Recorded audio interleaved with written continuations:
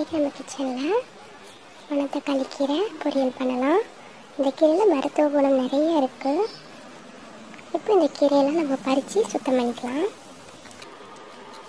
கீரையை பறிச்சாச்சு. இப்போ இதை க்ளீன் பண்ணிடலாம். க்ளீன் பண்ணும்போது இந்த கீரையில் இதில் இருக்கிற இந்த காயெல்லாம் நம்ம வீணாக்க வேணாம் இதையும் நீங்கள் சேர்த்து யூஸ் பண்ணிக்கோங்க. கீரையை நல்லா கழுவி சுத்தம் பண்ணி நான் கட் பண்ணி எடுத்திருக்கேன். பண்ணி எடுத்திருக்கேன். இப்போ பொரி பொரியலுக்கு தேவையான பொருட்கள் பார்க்கலாம். கொஞ்சமாக சின்ன வெங்காயம் காஞ்ச மிளகாய் தேங்காய் கொஞ்சம் கருவேப்பிலை. இப்போ ஒரு கடாய் எடுத்துக்கலாம். எடுத்துக்கலாம். இப்போ கடாய் சூடானதும் ரெண்டு டேபிள் ஸ்பூன் எண்ணெய் சேர்த்துக்கலாம். எண்ணெய் சூடானதும் கால் டீஸ்பூன் கடுகு.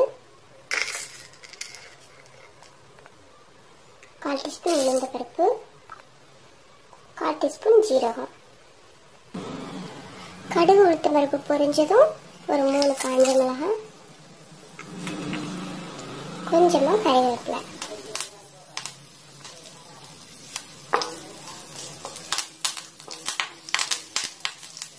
நல்லா பொரிஞ்சதும் இப்போ கட் பண்ண வெங்காயத்தை சேர்த்துக்கலாம். வெங்காயம் நல்லா வதங்கட்டும்.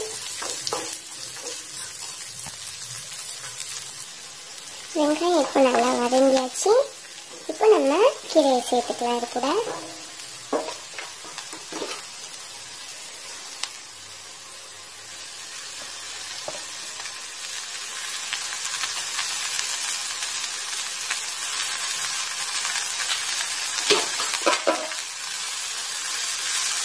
உப்பு நம்ம இப்போ சேர்க்க வேணாம். இப்போ நம்ம லாஸ்ட்டாக சேர்த்துக்கலாம் எனக்கு பார்க்க கீரை அதிகமாக இருக்கும்.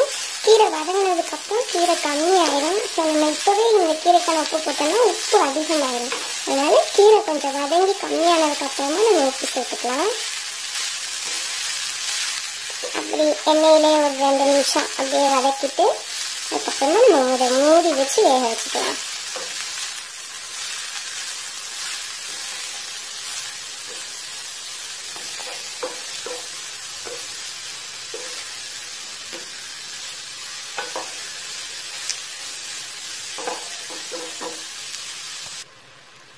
இப்போ நம்ம மூடி போட்டு மூடி வச்சிடலாம் ஒரு பத்து நிமிஷம் ஆகும். இடையில இடையில நம்ம எடுத்து மிக்ஸ் பண்ணி விட்டுக்கலாம்.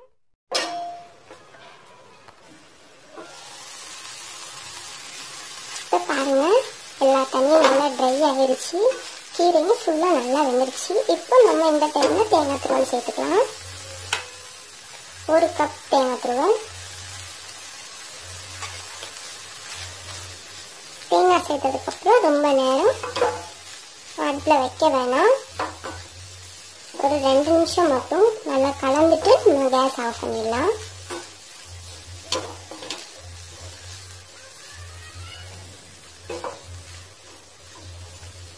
உடம்புக்கு ரொம்ப நல்லது. வாரத்தில் ஒரு நாள் கீரை எடுத்துக்கோங்க. இந்த மணத்தக்காளி கீரை வந்து நம்மளோட வயிற்றுப்புண் எல்லாமே சரியாக்கும்.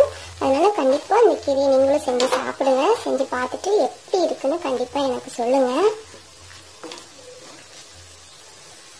அவ்வளோதாங்க நம்மளோட கீரை ரெடி ஆயிடுச்சு. நான் இப்போ கேஸ் ஆஃப் பண்ணிடுறேன். அவ்வளோதாங்க நம்மளோட கீரை ரெடி ஆயிடுச்சு. இந்த வீடியோ உங்களுக்கு பிடிச்சிருந்தா லைக் அண்ட் ஷேர் பண்ணுங்க. நம்ம சேனலை இன்னும் சப்ஸ்கிரைப் பண்ணாமல் இருக்கீங்கன்னா கண்டிப்பாக சப்ஸ்கிரைப் பண்ணுங்க.